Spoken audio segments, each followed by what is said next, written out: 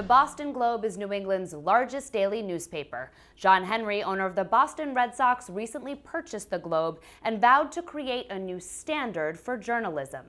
I'm Jenny Johnson for Comcast Newsmakers. Joining me today in Suffolk University's downtown Boston studio is Michael Sheehan, CEO of the Boston Globe. Michael, thanks for joining thanks, us. Jenny. So, your quote, you've been known to say, there's news and then there's journalism. Yeah. What's the difference between the two? Well, I think there's a basic difference between news, which is fairly easy to access. Uh, you can get it on Twitter every morning. You can get it uh, pretty much from a lot of different sources, and a lot of it's free. Uh, but it's not necessarily uh, news or, or, or, information that's been well sourced, mm -hmm. you know, from sources who have been cultivated over years, mm -hmm. well written, um, well edited, copy edited, uh, and fact checked. And I think that's what you get with uh, journalism. There's no substitute for it uh, and there's credibility to it, and you can trust it. There's an incredible uh, amount of trust with what you read in the Boston Globe. Uh, and uh, that's that's different than just news. Well, talking about that credibility and that trust, the Globe is as much as an institution in Boston as the Red Sox, as Fenway Park. So, talk about what the new management is going to do to maintain that and to grow it. Well, I, I, think you know when you look on the editorial side of the Globe, under the leadership of Brian McGrory, who's doing just an amazing job as editor in chief. Uh, the quality of the journalism will continue to improve over time. It'll become uh, relevant, uh, more relevant every single day. Uh, the, the, examples of it every single every single day of the week mm -hmm. of great, insightful, um, investigative.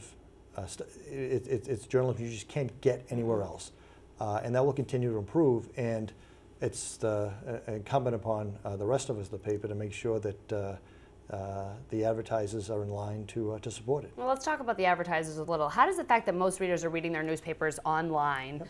sort of change things for, for the future of media? Well, it's, it's, it's, there's definitely a transition going from print to online. Mm -hmm. um, it, it, happens in, at a various pace.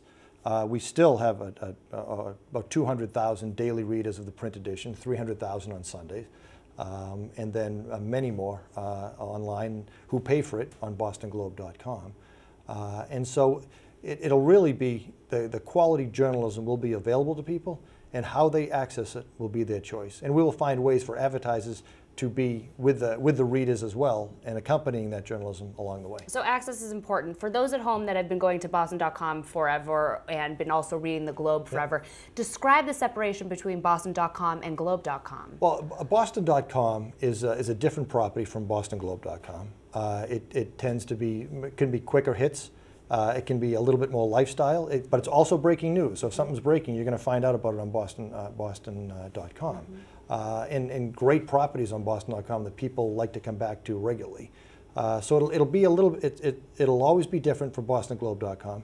Um, and it will be, um, my, my expression I like to use is, is that if, if, you're, if you're information, uh, you can snack on Boston.com, but for a full meal, BostonGlobe.com which is the paid site, is, is, is where you got to go. Okay, so that saying comes from you as an old ad man. Okay, right. so now you're working the other side of the street, so to speak. How does that feel? It's, it's, it's different. I spent 30 years on the advertising agency side, but uh, it's really the same, uh, understanding the audience, uh, attracting an audience, and then uh, getting advertising in front of the, the, the Boston Globe audience is real. There's nothing else like it in New England. It's a high income audience.